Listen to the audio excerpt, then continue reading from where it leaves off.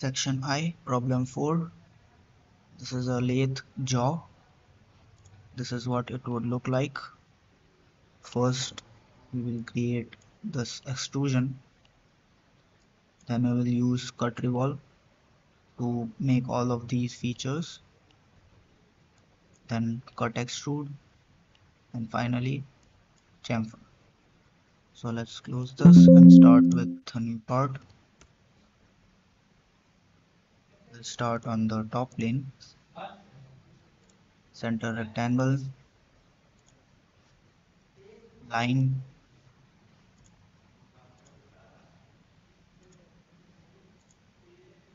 This line and this line would be for construction. Now give the dimensions. This is 89, 24 and this angle would be 30 you can add the fillets of 5 mm there are total 5 fillets on all the edges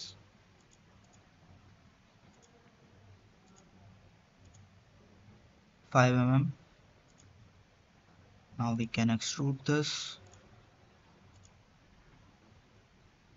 The extrusion height is 62 Now for the cut revolve, we can sketch on the right plane.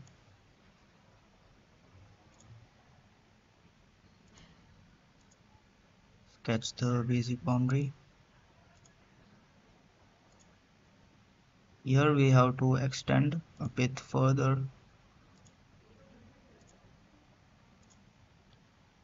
because uh, if we keep the line over here then while we cut extrude some of the portion will remain and will not cut properly. So we have to extend a bit further. Now give the dimensions.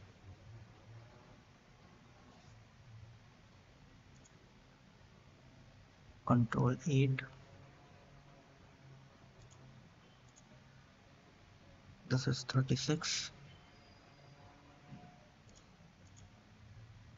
24 and it is already defined. Then this height 16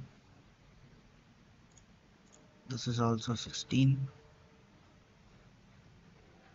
that is done. Now we will create a center line from where we will uh, cut revolve. This would be the axis. And this distance is given 41 we can see it from here. It is 41 from this edge. Now create a corner rectangle.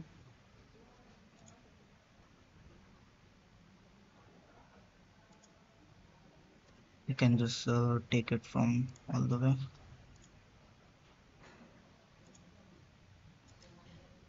this is 5 and this edge would be constrained. This one. Now for the features at the bottom these ones. It is uh, given in this view. The thickness is 3 mm and the distance between them is 6 so we can just make one and then pattern seven times. So create one rectangle. This distance is 26 and this gap is 3 this is one feature. We can uh, make uh, linear pattern it's seven times 7 in the reverse direction. And uh, the distance between them the gap would be 5 there are 6 gaps of 5 mm. So we have 7 features. Now we can trim what we need to keep while uh, we cut.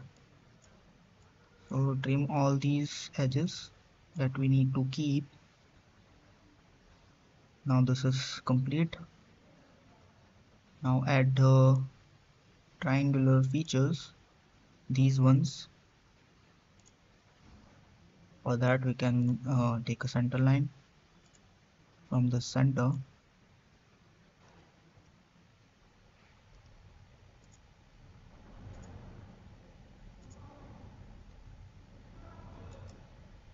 This distance of center line height is given 1.5 and the angle one of the lines. You can take 40 we already give the perpendicular constraint so we don't have to define for the other one. Now again take a center line from here and take a normal line sketch on this uh, perpendicular line so you don't have to give constraint again similarly repeat it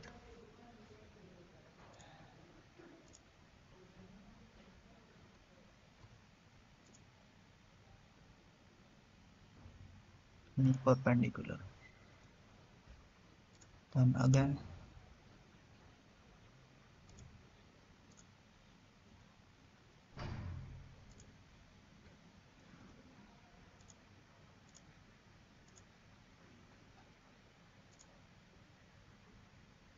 make these center lines vertical.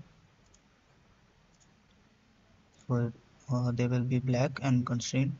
Now select all of these edges all of these lines and make it equal with one of these lines. So everything would be constrained. Now select these lines that we previously made and make it for construction and then sketch on the same lines to join all the points.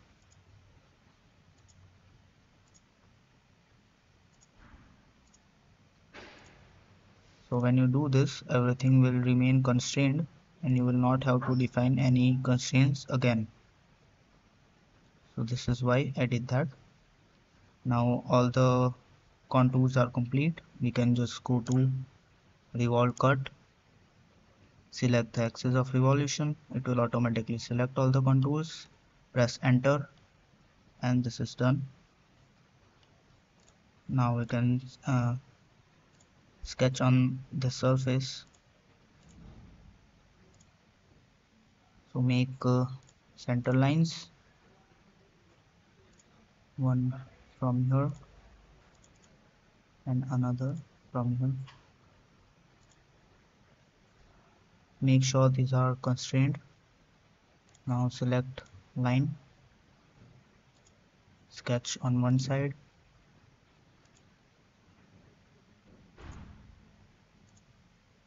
Now give all the dimensions.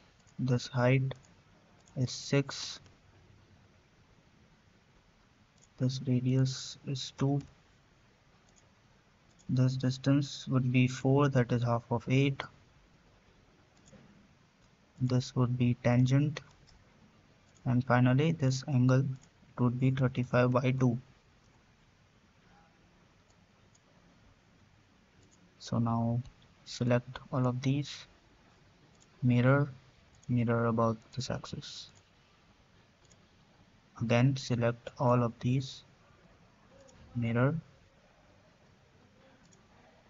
mirror about this axis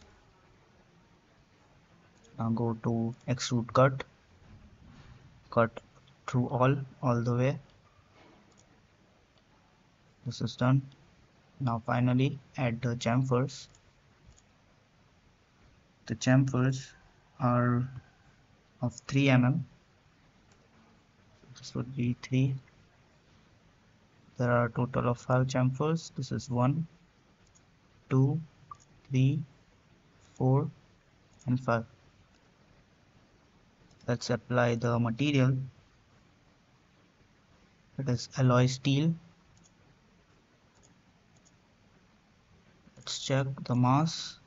552.25 grams. 552.25 grams. So this is correct. Next part in the next video. Thank you